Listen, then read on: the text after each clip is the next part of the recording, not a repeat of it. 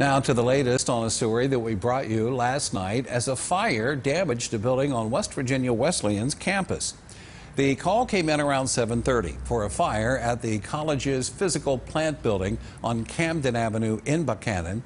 Firefighters from Upshur, Lewis, Randolph, and Barbour counties were able to bring that fire under control, but officials say that they were on scene for several hours. Luckily, no one was hurt, and officials say that they believe the blaze was started by an electrical fire beginning in the carpentry shop. Physical plant offices have been temporarily relocated to campus until repairs can be made to that building.